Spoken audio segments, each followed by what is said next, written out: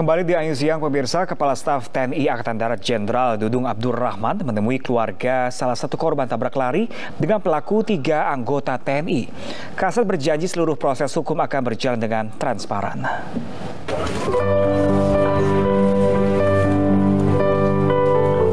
Kepala Staf Angkatan Darat Jenderal Dudung Abdurrahman tiba di rumah mendiang Handi Saputra di Limbangan, Garut, Jawa Barat, Senin pagi. Bersama sejumlah anggota TNI, Kasat menemui orang tua mendiang Handi dan menyampaikan ungkapan bela sungkawa atas peristiwa yang menimpa Handi yang melibatkan tiga anggota TNI. Selain menyampaikan duka cita, Kasat juga berjanji proses hukum para pelaku akan berjalan secara terbuka.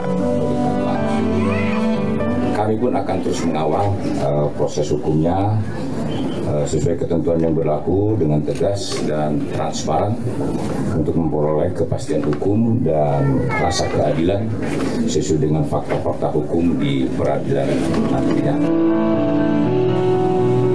Handi Saputra dan Salsabila menjadi korban tabrak lari di Nagrek, Jawa Barat. Ironis, usai ditabrak, tiga pelaku membawa keduanya dengan mobil dan dibuang ke Sungai Serayu Banyumas hingga ditemukan tidak bernyawa.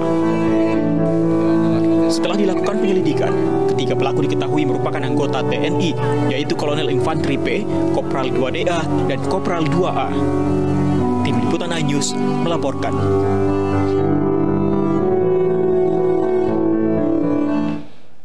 Kita beralih ke informasi lainnya, pemirsa masih dalam suasana Natal dan jelang tahun baru 2022. Beberapa komoditi pangan alami kenaikan yang sangat signifikan, di mana harga minyak goreng belum juga turun, ditambah saat ini harga telur ayam ras naik secara drastis hingga lebih dari 10.000 per kilogramnya.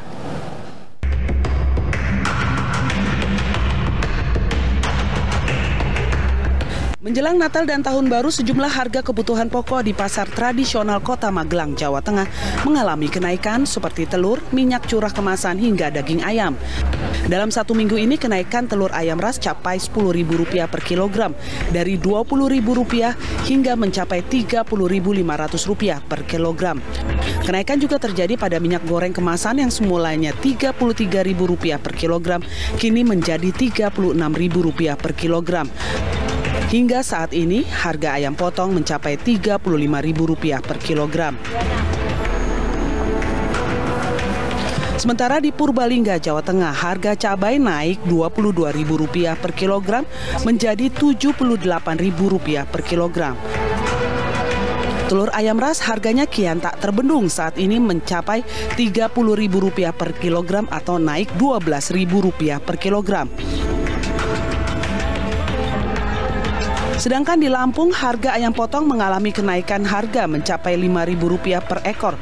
Saat ini ayam potong mencapai Rp50.000 per ekornya. Harga minyak goreng di pasar juga mengalami kenaikan yang sebelumnya Rp12.000 per liter, saat ini mencapai Rp19.500 per liter. Sementara di DKI Jakarta, telur ayam ras capai Rp29.000, sedangkan cabai rawit merah mencapai Rp110.000 per kilogram. Di kota Surabaya, daging ayam ras per kilogram Rp35.000, minyak goreng curah lebih dari Rp17.000 per liter. Di Denpasar, Bali, telur ayam ras lebih murah dibandingkan Jakarta, hanya Rp26.000 per kilogram. Sedangkan minyak goreng curah hampir Rp19.000 per liter. Pedagang dan masyarakat berharap agar harga sejumlah kebutuhan pokok dapat kembali stabil, terlebih lagi di masa pandemi seperti saat ini. Tim Liputan iNews melaporkan.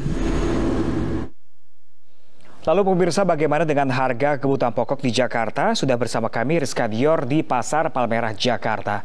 Halo, selamat siang Rizka. Ini jenis komoditi pangan apa saja yang mengalami kenaikan secara drastis? Silakan Rizka Dior. Ya, selamat siang Pram dan juga pemirsa. Menurut pemantauan kami sejak pagi hari tadi di Pasar Palmerah juga sejumlah komoditi pangan mengalami kenaikan harga.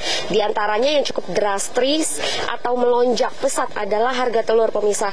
Jika semula harga telur dijual dengan kisaran harga Rp22.000 lalu naik menjadi Rp25, Rp27 hingga Rp30.000 per hari ini sudah naik menjadi Rp32.000 per kilogramnya.